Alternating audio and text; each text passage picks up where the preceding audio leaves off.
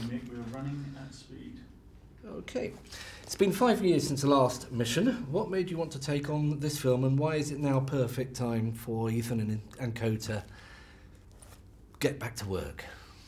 Um, I was excited to get involved with it because uh, I've been looking for an opportunity. J.J. Abrams and I, the producer, had been looking for an opportunity to work together, um, and the timing never worked out. And uh, I met Tom right after The Incredibles, and we had this long discussion about what we loved about movies. And this was a chance to work with both of these guys in, in one fell swoop and, and have a lot of fun with a, a very big movie.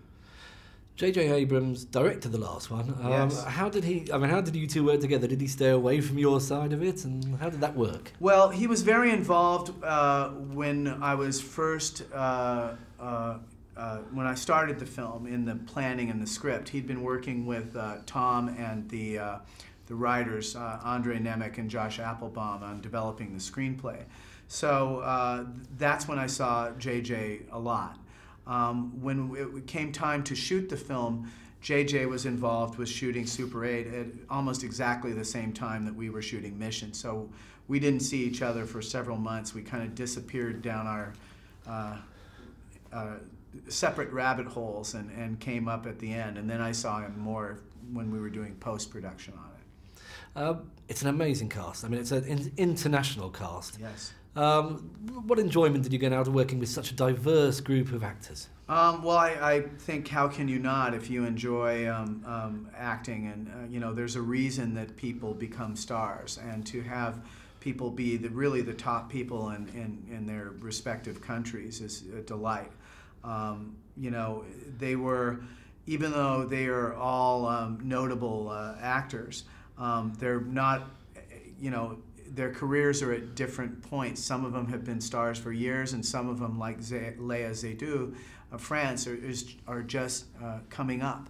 So it was everything under the sun, and um, you know every reason that uh, you love acting um, is evident in, in the cast of this film can't not talk about Mr. Cruise and doing his own stunts. How, Yes. what was it like when he's at the top of the Burj Khalifa and he wants to do it himself? It must be frightening. It, well, it was, uh, you know, and uh, but uh, um, I was just concentrating on, you know, it was so uh, complicated and involved, and we filmed the sequence of Tom climbing the Burj Khalifa in IMAX, um, so uh, it was. Uh, um, very complicated, and I was just uh, worried about not screwing up my part of it.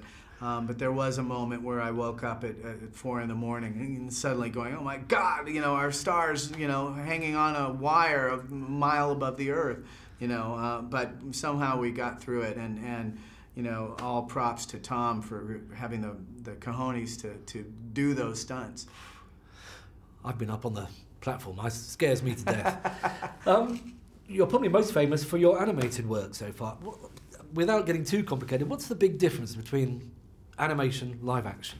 Well, there's probably more in common between the two than most people think. It's, it's all storytelling and it's all uh, the medium of film. I think the biggest difference between the two is that you can't really do spontaneity in animation. You can imitate spontaneity. You can study what spontaneity looks like and, and reproduce it. But you can't really, uh, other than the voices, uh, you can't really have it. And in live action, you can have magic moments that happen right in front of the camera and take advantage of them. So that was really fun about live action. As with many movies now, a large part of the final movie is CGI special effects. What's it like when you've finished your part of it and then you get to see it again with the special effects on? Is that an exciting part of it? Oh, it's very exciting, but you know, um, when you do these shots um, uh, where you that involve special effects, you see them as they're being uh, uh, developed, and you know you have to have a critical eye the same way you do when you're shooting a scene in person. You still have to go, no, it needs to look a little more like this. So you're kind of prompting the movie towards this vision that you hopefully have, um, you know, the whole way through, and uh, effects is just a part of it. But in this movie, um, one of the attractions of it was how much of it was not special effects, where we were doing it old school style, you know, with uh, great stunts. And I guess when you're directing, you're actually um, you, you think of the effects in your head anyway. You must see it in your head when you're directing the live action, I guess. Yeah, that was one of the advantages of having done animation was um, that animation is all about pre-visualizing and knowing what something is going to look like long before you do it. So that was, I think, a great advantage. Last question: What did you enjoy most, and what do you think the audiences will enjoy most coming to see Mission Impossible: Ghost Protocol? Um, I think that I personally enjoyed uh, the amazing talent I got to work with. I mean, I'm not just. Uh, um, um, I, view filmmaking from an audience perspective, and I have a lot of people that I admire. I mean, both actors and craftsmen, like uh, our cinematographer Robert Elswit, our production designer Jim Bissell, our sound designer Gary Rydstrom. It goes on and on and on, and they're all people whose work I admire, and I got to work with all of them at once. In terms of the audience, I, I think that it, it's uh, it's the biggest Mission Impossible. I think that. Uh, um, I, I, think that it's kind of like a summer movie for Christmas, and uh, I, I, think that it's it's meant to be consumed with large amounts of popcorn, and and uh, um, I'm really happy about that. Lovely. Thank you so much for doing that. Thank you. Thank you.